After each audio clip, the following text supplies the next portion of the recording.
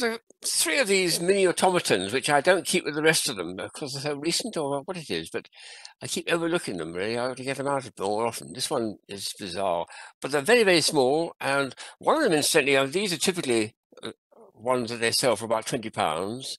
But the third and last one I'll show was a very special one, which cost me all of a hundred pounds. That one there, incredible. And you'll see why when I show it to you. These all have to come up close to camera because they're so small. Let's have a go with this first one. See if you recognise the creature before I make him perform. Let's see it lift, lift up like that. That's right. That's how it starts. It's called, yes, Kiss Me Hardy. It's Nelson who's lying there prone, stripped to the waist, about to die, and his favourite uh, captain is coming to render a farewell kiss to him, which he does with a mmm and up. No. See if I can do it without it losing focus.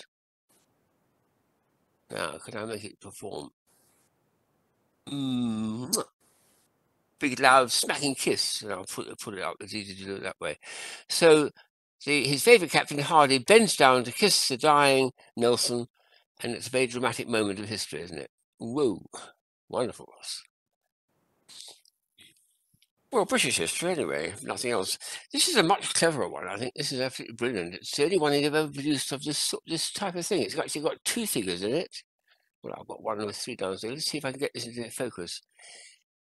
Now, this is a tricky one because there's actually two figures in it, and one of them is supposed to be miniature. Would you believe that is uh, um, uh, the person is in the back, and the thing in the front is supposed to be a life-size doll? And when you push the back, I've got to see if I can do this with hands. When I push the back, it'll operate the mouth of the. So, so he's got to do a little bit of ventriloquism to make this work. Let me see if I can get it from the other side. This is all very tricky, but have, a, have another go. Oops, there's it. Uh,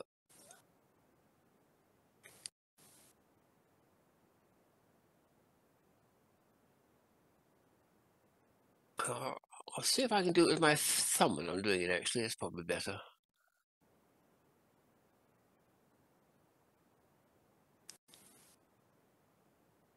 And now slowly open and close the mouth. See what I'm doing at the back? I'm just pushing the lever and it makes the, the little um, puppet's mouth open and close. Let's see if I can get him closer to. Yes.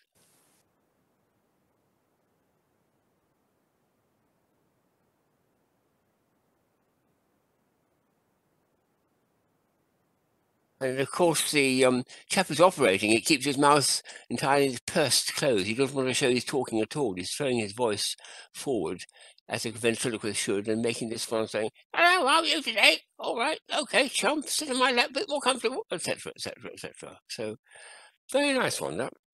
So the last one is this incredibly expensive hundred one. I, I, he only made a few of these, and I thought, well, should I do it or not? But you'll probably see why when you see the title of the thing.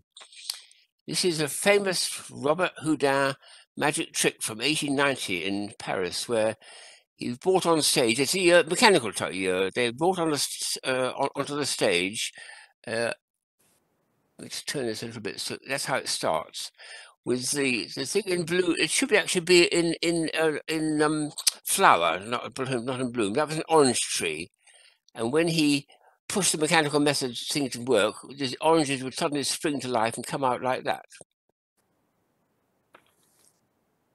At the top was a handkerchief which he'd borrowed from a lady in the audience before the trick began. And of course, the, the handkerchief eventually flies as if magically into one of the oranges. When he picks up an orange from the tree, opens it, slices it open, there's the handkerchief. Extraordinary. This look at the back of the mechanism to make this thing work. I mean, look at all that. Oh my goodness me.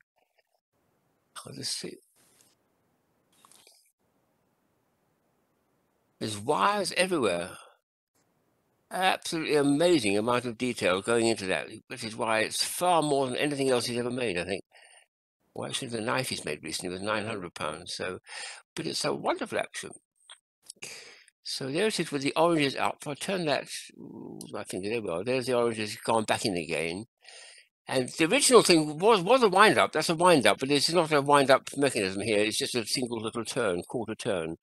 And when it does that, the blossoms, the blossoms actually dis- disappeared, I think it was, and the oranges appeared in their place. So it was an orange tree that suddenly magically grew oranges. And when you picked up one of the oranges, opened it up, sliced it open, the handkerchief, which had flown there as if by magic from where he put it, where he, just, he vanished it, I think, uh, into one of the oranges. Isn't that amazing? So that was a wonderful uh, celebration of uh, a trick that's, that's much revered by magicians all over the world as Robert Houdin, from whom, for whom Houdini chose his name instead. Let's get his, his, famous Frenchman's name up into the camera again. There we are. So a very famous trick of his, the one with the oranges and the flying handkerchief. Ah, what a piece. I thought just to finish it off, I'd put them on the table here to show how small they are. And then just for something bizarre to do, I thought I'd get a particularly nice automaton I have picked up, which is a little bit bigger, a little bit bigger. Let me see if I can get in the camera. It's one of my dinosaurs, but this is the one I'd forgotten about. I don't think I've ever used it before. It's one of those, um, what do they call the one with long necks? Anyway, see what he does. He walks and he stops and his mouth opens. There we are, his mouth gaping. He walks a bit. Then he opens and closes his mouth and he walks a bit more. He's at the background of these extraordinary automatons. What wonderful Perhaps we should get him to kiss Nelson, do you think? so wonderful things. Oh yes, oh yes, he is a little bit bigger than the other ones.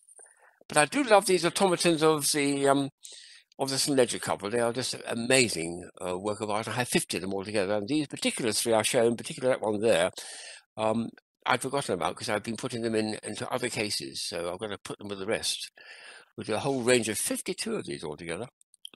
Yes, they are. They're, they're wonderful. They're one of my favourite uh, discoveries over the last 30 years of toy collecting.